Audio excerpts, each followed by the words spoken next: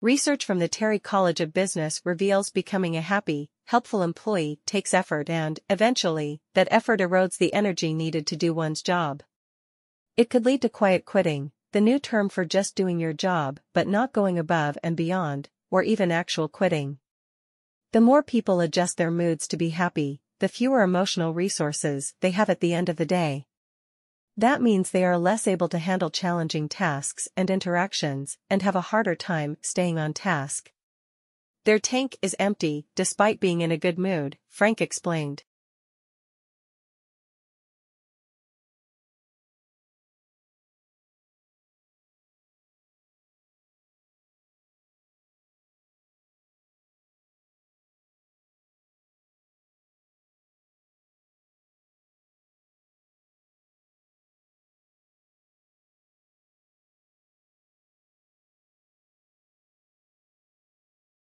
I do not think I am twisting the usual meaning of drama if I define it as a presentation before spectators by performers who take on roles and who interact with each other to further a story or a text intended for such presentations. This is intended as a working definition simple enough to be recalled easily. Indeed, it is so simple that I should point out that it makes one or two distinctions that are perhaps not immediately obvious. First, to say that performers take on roles leaves open the possibility that they are not within the roles to other performances as such alternative phrases as performers in character or characters represented by actors do not.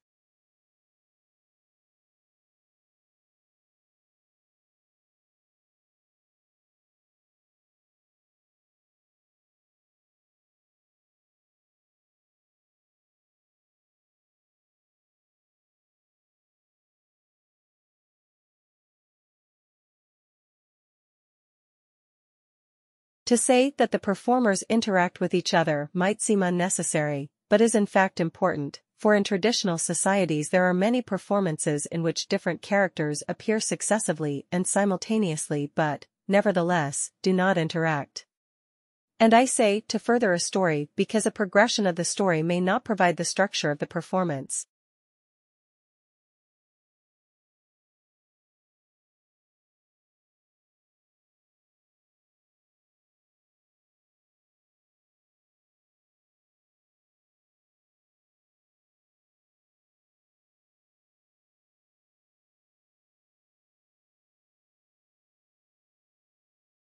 According to BT's futurologist, Ian Pearson, these are among the developments scheduled for the first few decades of the new millennium, a period of 1,000 years, when supercomputers will dramatically accelerate progress in all areas of life.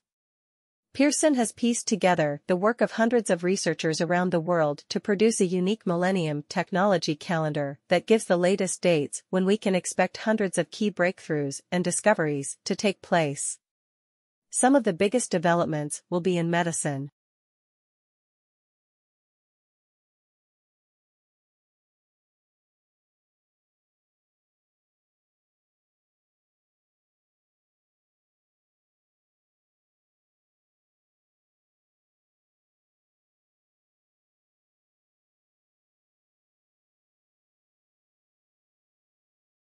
Team Lab's digital mural at the entrance to Tokyo Skytree one of the world's monster skyscrapers, is 40 meters long and immensely detailed.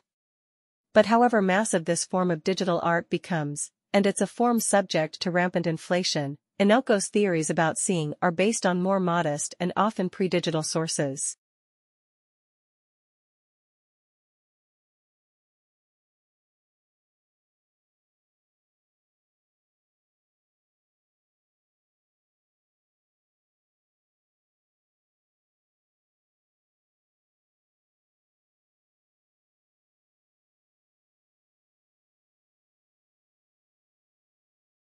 An early devotee of comic books and cartoons, no surprises there, then computer games, he recognized when he started to look at traditional Japanese art that all those forms had something in common, something about the way they captured space.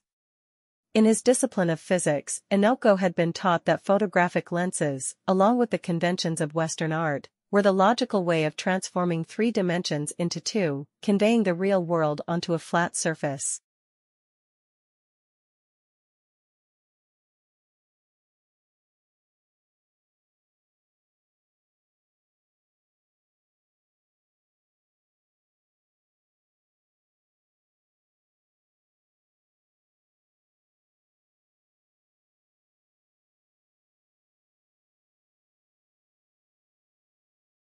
Roman poet Ovid wrote that there is nothing constant in the universe. All ebb and flow, and every shape that's born bears in its womb the seeds of change. These words are remarkably relevant when one considers the way life has changed through time as revealed by fossil record.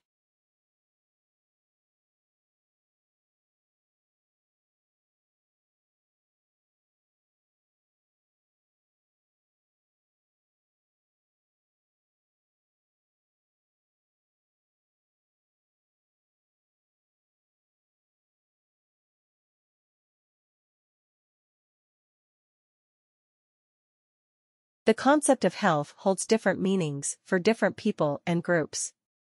These meanings of health have also changed over time. This difference is no more evident than in Western society today, when notions of health and health promotion are being challenged and expanded in new ways.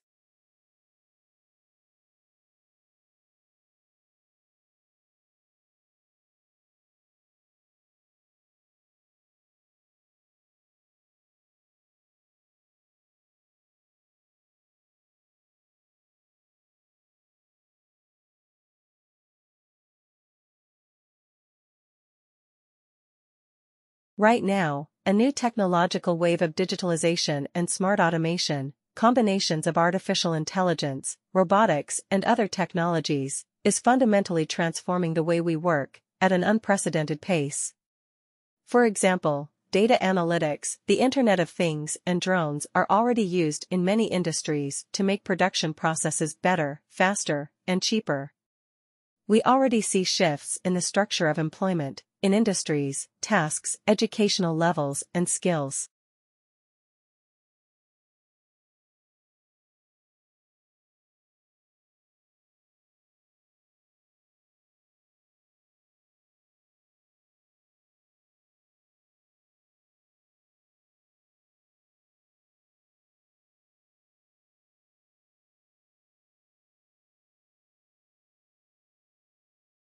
Turning now to the heart of the study, in two divisions an attempt was made to change the supervision so that the decision levels were pushed down and detailed supervision of the workers reduced. More general supervision of the clerks and their supervisors was introduced. In addition, the managers, assistant managers, supervisors and assistant supervisors of these two divisions were trained in group.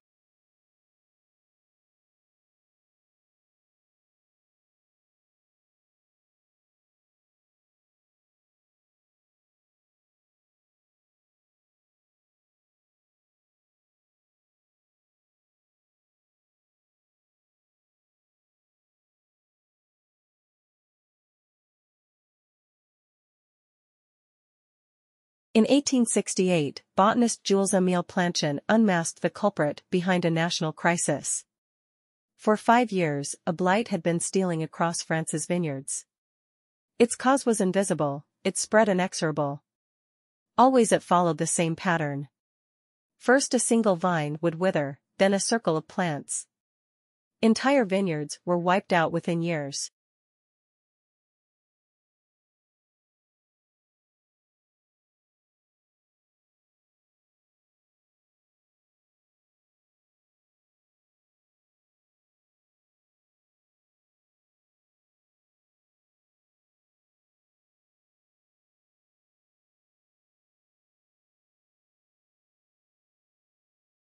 Nissan will overhaul the inspection process for its Japan-destined vehicles for the first time in decades as the carmaker seeks to address a widening inspection scandal that has forced it to suspend production for the domestic market.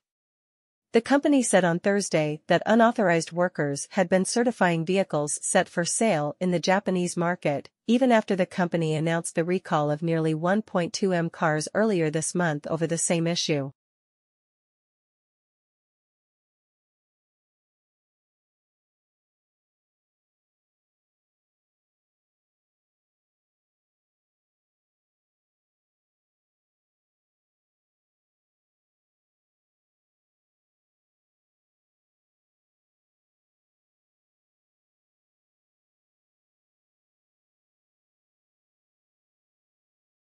With investors increasingly concerned about Japan Inc.'s adherence to standards, concerns that were most recently inflamed by the Kobe Steel data falsification scandal. The news pushed Nissan shares down 1.6% on Friday, and also weighed on the prices of its suppliers. Hiroto Saikawa, Nissan's chief executive, pledged drastic measures to deal with the problem, namely the suspension of vehicle production for the home market at all six factories in Japan run by the company and its affiliate, Nissan Shatai.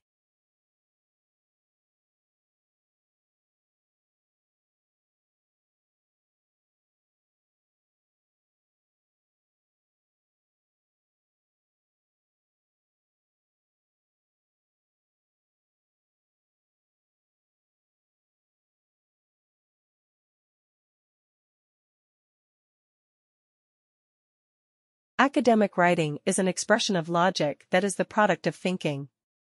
This means that the writing that you produce is a reflection of your intellectual abilities.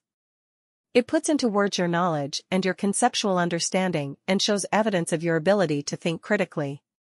In any given population, about 10% of the people are left-handed and this figure remains relatively stable over time.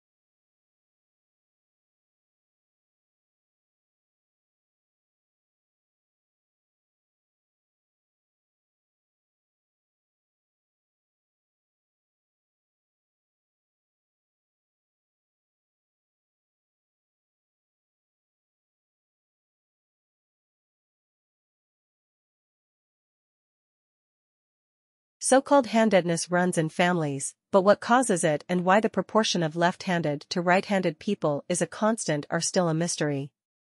One thing we do know is that hand dominance is related to brain asymmetry, and it seems to be generally agreed that the human brain is profoundly asymmetric, and that understanding how this works will tell us much about who we are and how our brains work.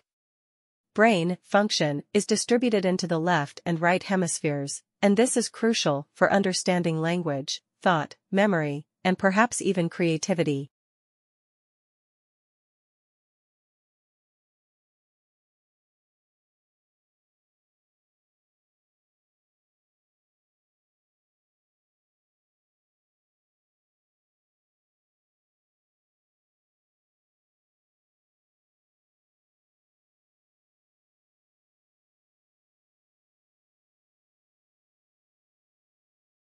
For right-handed people, language activity is mainly on the left side. Many left-handers also have left-side language dominance, but a significant number may have language either more evenly distributed in both hemispheres or else predominantly on the right side of the brain. Because left-handedness is seen as a key to the complex anatomy of the brain, scientists are searching for links to other conditions, including immune disorders, learning disabilities, and reduced life expectancy.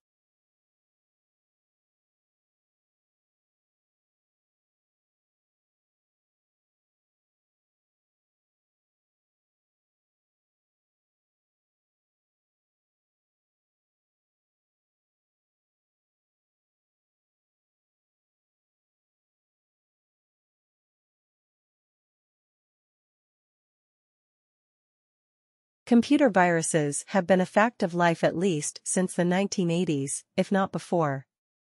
They can cause companies to lose hours of working time and they can also spread panic among computer users everywhere. There are, however, several distinct types of computer infection, all loosely referred to as viruses, and they each work in a slightly different way.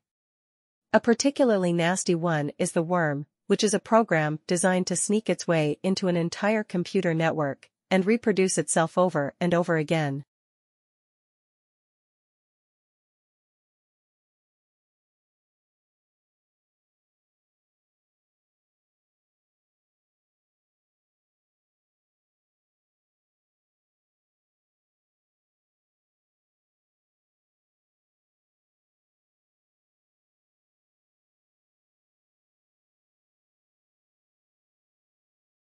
Then there is the Trojan, which strictly speaking isn't a virus, but a piece of software that appears to do one thing, but actually does something malicious instead.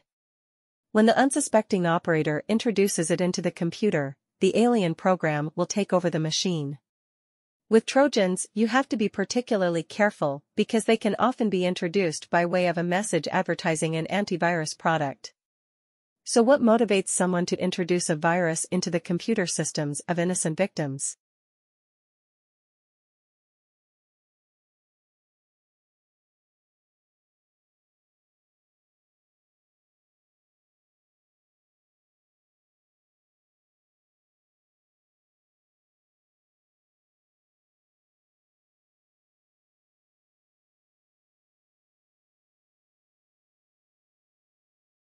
The heart functions as a pump at the center of the circulatory system. In humans it is located in the chest cavity, between the lungs, a bit to the left. The heart consists of four chambers surrounded by a very strong muscular wall, the myocardium. The upper chambers, the right and left atria, receive blood entering the heart, and the lower chambers, the right and left ventricles pump the blood out of the heart, via the pulmonary and the systemic circulatory systems.